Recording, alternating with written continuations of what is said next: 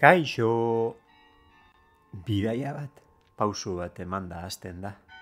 Beti, lehenengo pausu bat behar dugu bidea egiteko. Aurreko kapituluan kontatu nizuen nolakoa izan zen lehen eguna. Gaur, bigarrena. Eta nik, konfesa dezadan, errespetu gehiago nion bigarren egunari lehenari baino. Eta hori atzokoak hogei kilometro gehiago zituela gaurkoak baino. Asko da hori, eh? Baina atzo, lehen egunaren emozioak airean eraman ninduen, eta gaurko biharamunari nion beldurra. Atzokoaren ondorioei. Ondo errekuperatuko nintzen? Indarri geratuko zitzaidan? Eta agujetak? Atzo euripean heldu nintzen arantzazura. Baina gaur, eguzkitzu esnatu du egunak. Zeinen toki ederra eta berezia den arantzazu, ezta? Eta banoa urbixarantz, peiorekin batera. Gaur, jaieguna da, eta jende mordoa zebien arantzazutik aizkorrira arteko tartean. Urbixatik arbelarrera, eta hor, erromeriari joaten utzi eta irauleran hartu dugu. Paraje hau ezagutzen baduzu, maiz ikusiko zenituen puntu hori batzuk. Segama aizkorri mendi maratoiaren markak dira. Gu kontrako norabideak nigo gara poliki poliki, aldapa tentean gora. Irauletik, gaiur leherroa jarraituz, horra hor, zazpi proiektuko hirugarren tontorra. Aketegi, ohar bat, errespetatu dezagun toponimia ganora zikertu eta lantzen duen jendeak esana. Aketegin, aize sakarra eta laino mordoa zegoen eta ospa egin dugu aizkorri aldera dronarekin grabatzeko geneuzkan asmoi buruz laga dezagun gaia, favorez.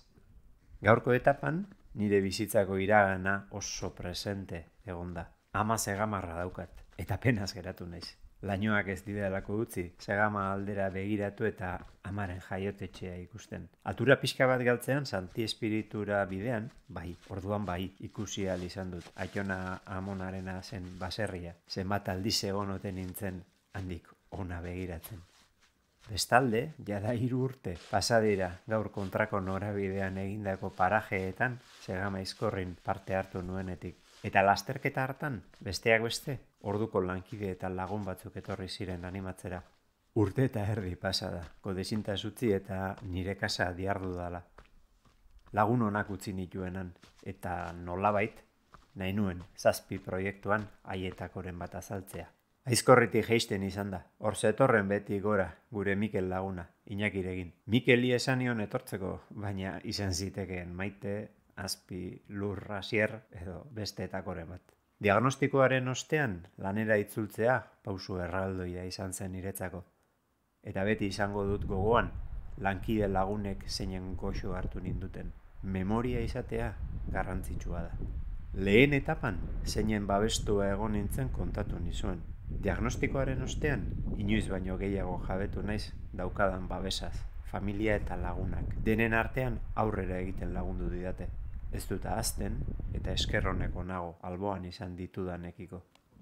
Peio, Iñaki, Mikel Tokaio eta Laurok elkarrekin egin dugu aldaolarako jaitxiera. Eta hotzaurtetik etxegaraterakoa Mikelekin egin dut. Etxegaraten bazkaldu, ene bat errepidearen azpitik pasatzeko demaseko gulta eman, eta bakarrik ekin diot, etaparen bigarren erdiari. Ordurako hogei bat kilometro eramatzen.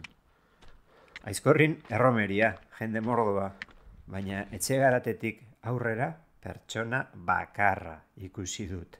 Bueltan zentorren eiztari bat.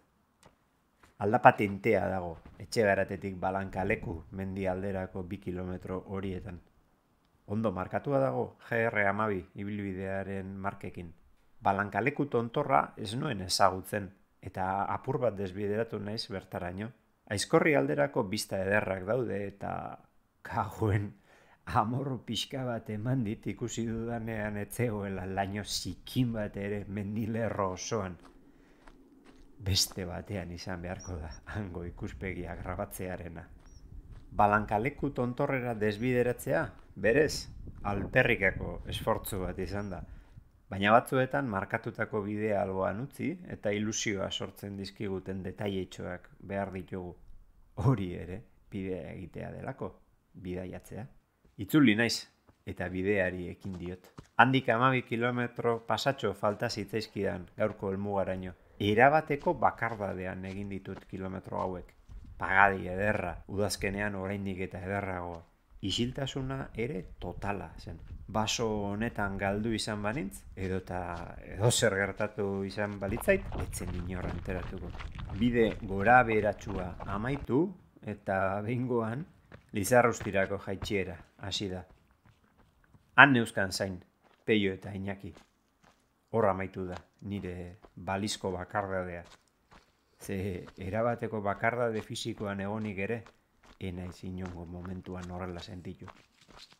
Bakarrik egon da ere, bakarrik ez sentitzea, lehen aipatu dudan babesa.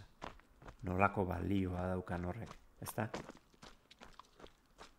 Bigarren etaparen fitxa teknikoa, hemen txe. Ofizialki, hogeita malau kilometro eta erdi ziren, baina erlojuak hogeita mazazpi pasatxo seinalatu dizkit. Teorian, 2000 eta metro positiboko desnibela, baina erlojuak 2000 eta ia irureun markatu ditu. E, errespetua ematen zidan eta egina nolako posa. Babesak ematen duen indarrarekin aurrera egiteko gogoz nago. Jo, urrengoan, hirugarren etapa.